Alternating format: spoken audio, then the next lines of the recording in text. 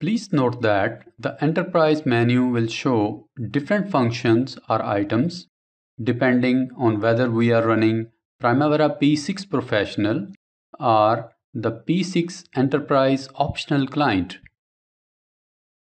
Please also remember that in our case, for learning purposes, we are referring to and using the Primavera P6 Professional throughout this course. Please note that generally the difference in these two, I mean the Primavera P6 Professional or the P6 Enterprise optional client is that the P6 Enterprise optional client assumes that the system is installed in an environment where the Primavera P6 administrative responsibilities are separated from the daily scheduling jobs. Whereas the Primavera P6 Professional is generally installed at the organizations where schedulers have more responsibility and ownership of the entire Primavera P6 installation. The Enterprise menu can be accessed directly by pressing the Alt plus N keys from our keyboard. Also, we can open the Enterprise menu from the main menu as well. The first command in the Enterprise menu is Projects command. The Projects command will open the Projects window we use the projects window to set up the enterprise project structure or EPS. We can add new projects and can also manage multiple projects by using this command. Enterprise project structure or EPS command open up the enterprise project structure dialog box the typical use of the enterprise project structure window is to define the EPS, which is a hierarchical structure of the database of our projects. Then the tracking command is used to launch the tracking window. The tracking window is used for monitoring a project's progress using different types of layouts. Next comes the Project Portfolios command. Project Portfolios command open up the Project Portfolios window. We use the Project Portfolios dialog box to add, edit, and delete portfolios in the database. The Resources command is used to open up the Resources window the resources window is used to maintain both our organization's resource hierarchy and individual resource information in the Primavera P6 database. The role command opens the roles window. We use the roles dialog box to add, edit, and delete roles. We can also use the roles command to assign roles to the resources. Please note that we can define up to 5 price per unit rates for each role and also we can specify role availability over time. Similarly, the OBS command is used to open the organizational breakdown structure window. We use the organizational breakdown structure dialog box to create view, and edit the organizational breakdown structure or OBS. We can also use this dialog box to view a list of users who can access an OBS elements related project information. Okay, so let's discuss the resource codes command which is used to open the resource codes dialog box the resource codes dialog box is for creating, editing, and deleting the resource codes.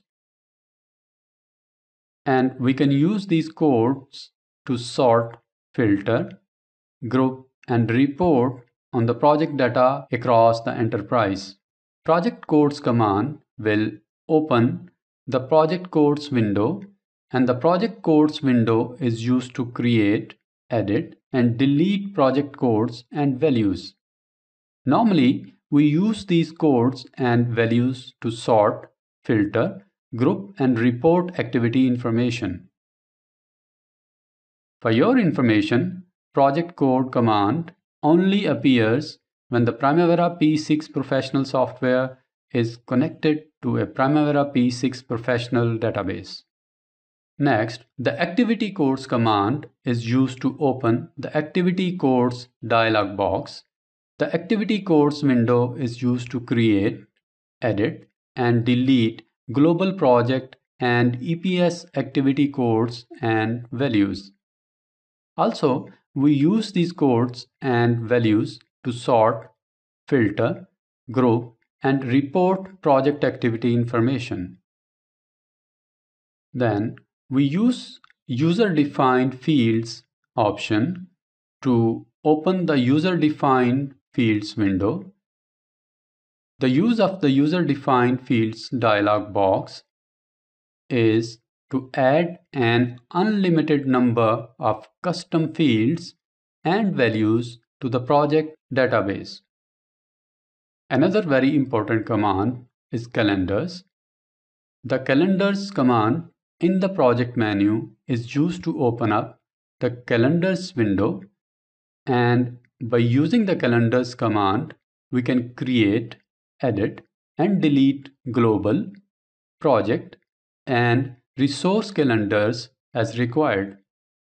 We can also view calendar assignments and can also specify a default global calendar as needed. The usage of resource shifts command is to open the resource window. We use the resource shifts window for defining the shift calendars for our project resources. One of the important and very interesting command that we use in the project menu is activity step templates. The activity step templates is used to open the activity step templates window.